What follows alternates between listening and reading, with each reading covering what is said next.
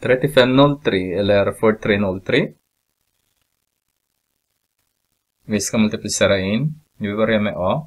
Vi har 4 multiplicerar med x är därmed 2. Så vi multiplicerar in 4 så har vi 4x.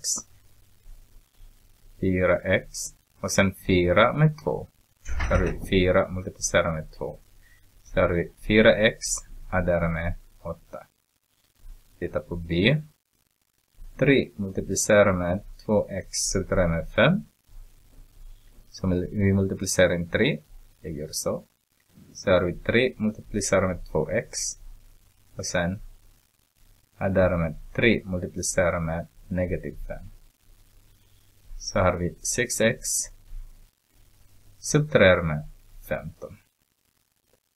Ska vi titta på C.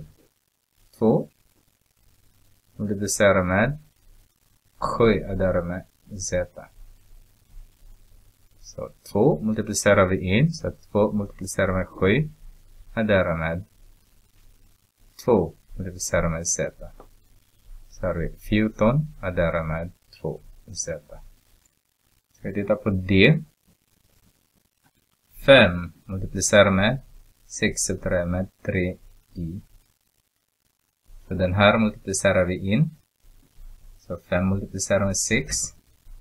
Och sen är där 5 multiplicerar med negativ 3y.